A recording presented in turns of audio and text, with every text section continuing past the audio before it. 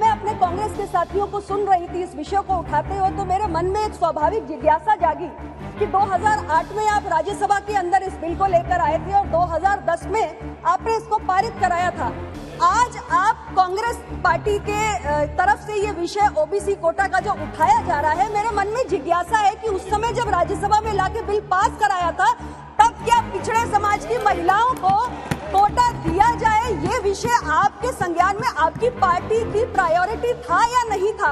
और अगर उस वक्त आपकी पार्टी की प्रायोरिटी नहीं था तो आज जब मोदी जी की सरकार ये बिल लाई है और ये बिल पास होगा, क्योंकि संख्या बल इस किस्म का है तो क्या ये नया नया ख्याल अभी और बात देखिए? अध्यक्ष जी, की हमारे कई साथियों ने बार बार कहा कि चुनाव है 2024 का।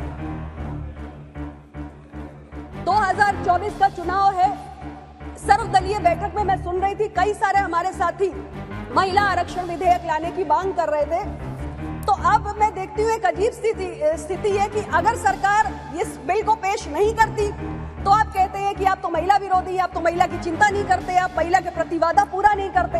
और जब सरकार बिल ले आई है तो आप कहते हैं कि अभी 2024 के आप चुनाव को देखकर लाए हैं, चुनाव में इसका फ़ायदा नहीं मिलेगा। अध्यक्ष जी, हर फैसला संसद में बैठकर किसी चुनाव को देखकर नहीं किया जा सकता। आज हमने एक अच्छी शुरुआत की है, हमने एक अच्छी पहल की है और इसे अगर हमें अंजाम तक पहुंचाना है तो इसकी एक पूरी प्रक्रिया है। उस प्रक्रिया का पालन हमें करना पड़ेगा। हम जानते हैं कि 2011 पूरा होने जा रहा है भाजपा की सरकार को और इस एक दशक में जब लगभग पूरा होने जा रहा है, तब इस सरकार को महिलाओं की याद आई है। तो आखिर क्यों जब यह दस वर्ष पूरे होने जा रहे हैं सरकार को तो महिलाओं की याद आई है अब सर, मेरा यह सवाल है कि आने वाले चुनाव में यह लागू हो पाएगा कि नहीं लागू हो पाएगा? और जो विधानसभा के भी चुनाव होने जा रहे हैं, जो पाँच राज्यों में होने जा रहे हैं, उसमें यह लागू हो पाएगा कि नहीं हो पाएगा यह महिला विधेयक बिल? सर, सवाल यह भी है कि जनगणना कब होगी? और यह सवाल इसके साथ यह भी है कि यह सरकार जातिगत जनगणना कराएगी या नहीं कराएगी? प्रधानमंत्री जी ने कहा था कि हमें सिद्धि की बात करी थी सब तो साधना से ही सिद्धि की प्राप्ति होती है।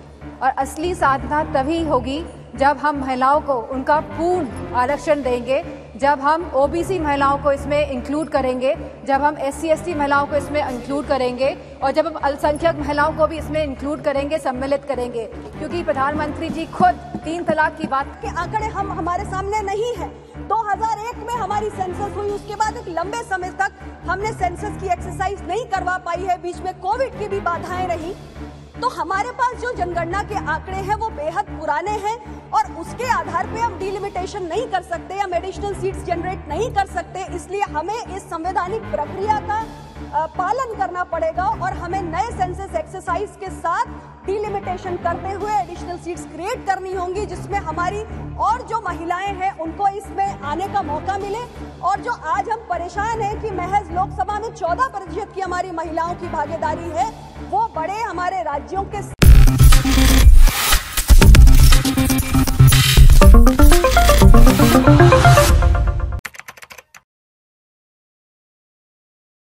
Next speaker now, the Honorable Minister, Srimati Anupriya Patel ji would like to intervene in the debate. धन्यवाद सभापति महोदय संसद के इस विशेष सत्र में जहाँ एक और आज हम अपनी छियानवे वर्ष पुरानी संसद भवन को जिसे अब संविधान सदन कहा जाएगा उसे पीछे छोड़कर नए संसद भवन में प्रवेश कर चुके हैं वहीं दूसरी ओर इस नए संसद भवन में अपनी पहले ही दिन हमने विधायी कार्य की शुरुआत करते हुए नारी शक्ति को सही मायनों में नमन करने का काम किया है। 128वां संविधान संशोधन विधेयक जो महिला आरक्षण विधेयक सरकार लेकर आई है। इसकी मैं तहे दिल से सराहना करती हूँ। माननीय प्रधानमंत्री जी को इसके लिए आभार व्यक्त करती हूँ। और ये सही मायनों में हम सब के लिए Please एक let the house be in Please. सभापति महोदय, भारत दुनिया का सबसे ज़्यादा आबादी वाला देश है और 142 करोड़ की आबादी में 70 करोड़ की आबादी महिलाओं की है लेकिन बहुत चिंताजनक और दुर्भाग्यपूर्ण है कि आज भी हमारे लोकसभा में जो महिलाओं की भागीदारी है, वो महज 14 प्रतिशत है और राज्यसभा में केवल 11 प्रतिशत है इंटर पार्लियामेंट्री यूनियन की एक रिसर्च हुई, जिसमें निचले सदन में महिलाओं की भागीदारी का आंकड़ा देखा गया, एक देश, एक देशों में, जिसमें भारत की रैंकिंग 149 थे यानी एक सौ उनचास है। और ग्लोबल जेंडर गैप रिपोर्ट 2022 में भी 146 देशों में जो भारत की रैंकिंग है, वो 135वीं है। ये कोई बहुत एनकरेजिंग आंकड़ा नहीं है हमारे लिए। और सरकार के तमाम आर्थिक सर्वेक्षण भी बताते हैं कि हमारे राज्य की विधानसभाओं से लेकर हमारे देश की लोकसभा में, देश की संसद में महिलाओं की भागीदारी बहुत कम है। और इसलिए महिला आरक्षण विधेयक समय की ज़रूरत है। और आज ये बड़े दुख की बात है कि छोटे छोटे देश, UAE, Cuba Rwanda Mexico, Nicaragua, New Zealand, ये वो देश हैं जिन्होंने 50 प्रतिशत तक महिलाओं की भागीदारी अपने डेमोक्रेसी में सुनिश्चित कर ली है और भारत जो कहता है कि दुनिया के सबसे बड़ा लोकतंत्र है, हम अपने यहाँ 50 प्रतिशत की अभी तक भागीदारी सुनिश्चित नहीं कर पाए हैं तो उस दिशा में ये एक महत्वपूर्ण कदम है। और बाबा साहेब अंबेडकर ने कहा था कि political power is the key to social progress. हमने देखा है कि हमने अर्बन लोकल बॉडीज में, पंचायती राज संस्थाओं में जब अपने देश की महिलाओं को भागीदारी दी तो हमारी महिलाओं ने ग्रामीण क्षेत्रों में, शहरी क्षेत्रों में कितना उल्लेखनीय कार्य करके दिखाया है। और जहाँ तक मोदी जी की सरकार की बात है तो हमारी सरकार विमेन लेड डेवलपमेंट की बात करती है। यानी कि महिलाएँ आगे बढ़ के कैसे देश का नेतृत्व करें, इसकी बात हम करते हैं। तो इसलिए ज़रूरी है कि जो टॉप मोस्ट डिसीज़न मेकिंग है हमारे देश के अंदर, हमारे लेजिस्लेटिव प्रोसेस में और हमारे इंस्टीट्यूशंस में, हमारी महिलाओं को लाना बेहद ज़रूरी है और उस दृष्टि से ये बिल बहुत ही महत्वपूर्ण है। अध्यक्ष जी, ये बिल नया नहीं है, ये बिल पुराना है, इसका इतिहास 27 वर्ष लंबा है। हमने देखा कि उन्नीस सौ छियानवे में सबसे पहले एच डी देवेगौड़ा जी की सरकार इस बिल को लेकर आई थी और उसके बाद तमाम लोगों ने प्रयास किए तमाम पार्टीज़ ने सरकारों ने। 97, 98, 99, 2003 में वाजपेयी जी की एनडीए की सरकार ने प्रयास किया। 2008 और 2010 में यूपीए की सरकार ने प्रयास किया लेकिन कोई भी सरकार इसे एक लॉजिकल कंक्लूजन तक ले जाने में सफल नहीं हुई। सभी सरकारों ने विफलता का ही सामने किया उस दृष्टि से मुझे बहुत प्रसन्नता है कि मोदी जी के नेतृत्व की सरकार जब इस विधेयक को लेकर आई है तो हम इसे सफलता तक, अंजाम तक पहुँचाने का काम इस बार करके दिखाएँगे। मैंने विपक्ष के साथियों की चर्चाओं को सुना, उसमें कई विषय सामने आए, जिसमें एक महत्वपूर्ण विषय था इस बिल के तहत, जो हमारे पिछड़े समाज से आने वाली महिलाएँ हैं, उनके लिए अलग से प्रावधान करने का। अध्यक्ष जी, ये विषय गंभीर है और ये जो चिंता है वो नाजायज भी नहीं है, इस मांग को गलत भी नहीं ठहराया जा सकता, क्योंकि महिलाओं को अगर हम देखें तो महिलाएँ एक जैसा ग्रुप नहीं है, एक होमोजेनस ग्रुप नहीं है। महिलाएँ एक हेट्रोजेनस ग्रुप है, क्योंकि महिलाएँ अलग अलग पारिवारिक पृष्ठभूमि से आती हैं अलग अलग इनकम लेवल से आती हैं अलग अलग जाति, धर्म, संप्रदाय से आती हैं, और उनकी जो लिटरेसी लेवल्स होते हैं, जो उनकी शिक्षा का स्तर होता है, वो भी अलग अलग होता है।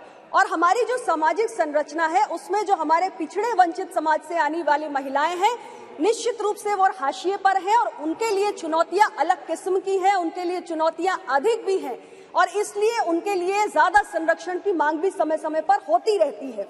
हमारी सरकार के बारे में मैं ज़रूर कहना चाहूँगी कि मोदी जी के नेतृत्व में ओबीसी के हितों को साधने के लिए कई ऐतिहासिक फैसले इन नौ वर्षों में हुए हैं और एक सहयोगी दल की नेता होने के नाते मुझे पूरा भरोसा है कि हमारे पिछड़े वंचित समाज से आने वाली महिलाओं के अधिकारों को संरक्षित करने की दिशा में प्रधानमंत्री जी ज़रूर कुछ ना कुछ विचार कर रहे होंगे और इसको सुनिश्चित करने के लिए भी कोई काम ज़रूर करेंगे।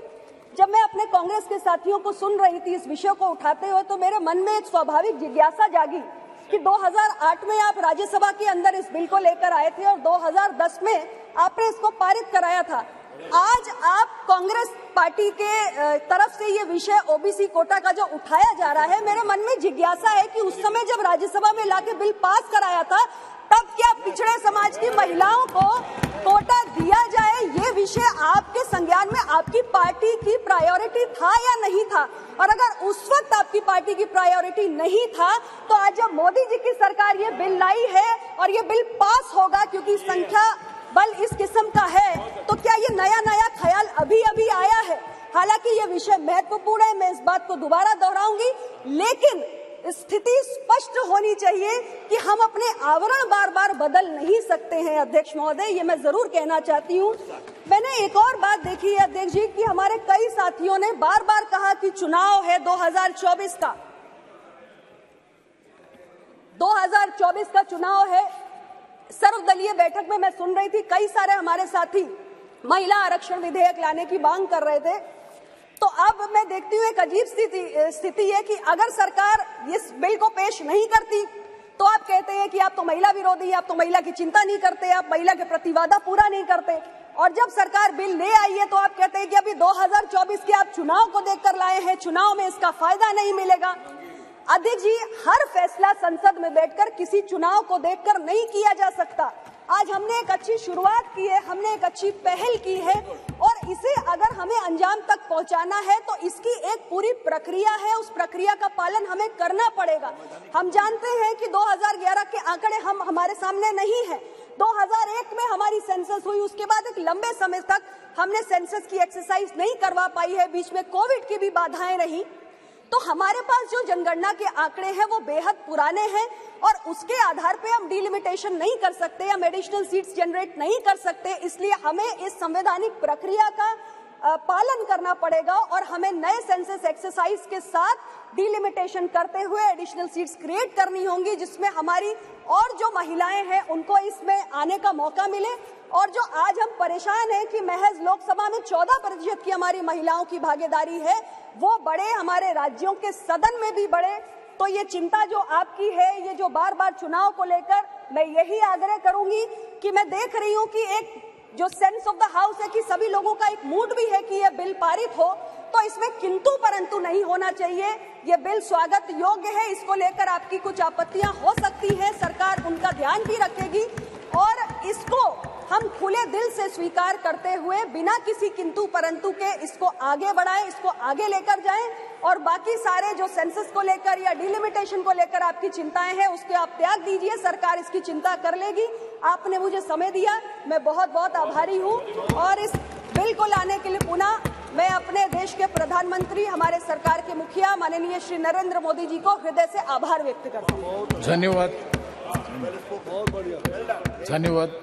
Congratulate the government for bringing this government and I support it. Thank you, sir. धन्यवाद सभापति महोदय कि आपने मुझे एक अवसर दिया इस विधेयक पे बोलने के लिए नारी शक्ति वंदन विधेयक समाजवादी पार्टी की हमेशा से यह मांग रही है कि पिछड़ा वर्ग महिला तथा अल्पसंख्यक महिला को भी इसमें सम्मिलित किया जाए इसमें उनको आरक्षण दिया जाए सर लोकसभा और विधानसभा में तो यह बिल लागू होगा। लेकिन हम ये पूछना चाहते हैं कि ये राज्यसभा और विधान परिषद में भी लागू होगा कि नहीं लागू होगा? तेरह साल से बिल अटका हुआ था सर, और लगभग एक दशक पूरा होने जा रहा है भाजपा की सरकार को। और इस एक दशक में जब लगभग पूरा होने जा रहा है, तब इस सरकार को महिलाओं की याद आई है। तो आखिर क्यों? जब यह दस वर्ष पूरे होने जा रहे हैं सरकार को तो महिलाओं की याद आई है अब।